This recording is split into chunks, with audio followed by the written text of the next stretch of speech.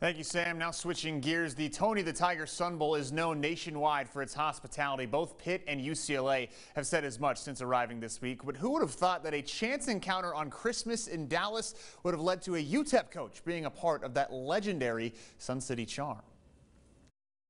Getting stranded in an airport on Christmas Day only to get to your destination thanks to the kindness of a stranger sounds like a script from a movie. But for three Pitt football players, it really happened. You know, it was just a lot of fun and a Christmas story that I'll never forget. Jake Frantl, Samuel Okunlola, and Hudson Primus were stranded in the Dallas airport Sunday night after their flight to El Paso for the Tony the Tiger Sun Bowl was canceled. So they decided to rent a car and drive nine hours to the Sun City. That's where fate stepped in. This couple in front of us, here's uh, now we're heading to El Paso, and we start talking, and uh, it turns out that he's the head basketball coach here at UTEP. That's right. Joe Golding and his family were in a similar spot, stranded in Dallas. And I was like, well, hey, if we uh, if we can find a big enough car, I'll take you guys home, you know? And they're like, who are you, you know? A fair question, but anyone who knows Golding knows that this is just who he is. I didn't even really think twice about it, right?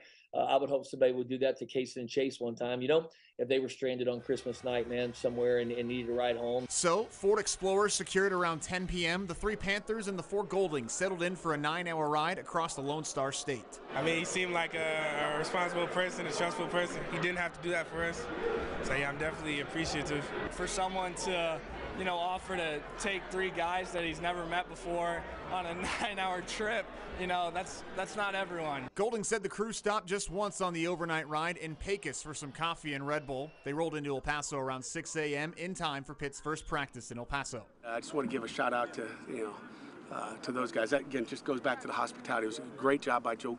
Joe, we appreciate it. It's a blessing. We enjoyed some fellowship and time, and, and, and learned about each other's families, and spent some time together. So it's definitely a Christmas I'll never forget. I can promise you that. Golding said the three Pitt players were awesome passengers, even if they all fell asleep and left Golding without a co-pilot for the last five hours of the trip. One thing is for sure, though, they will be fans of each other for life. The Tony the Tiger Sun Bowl kicks off on Friday at noon here in El Paso.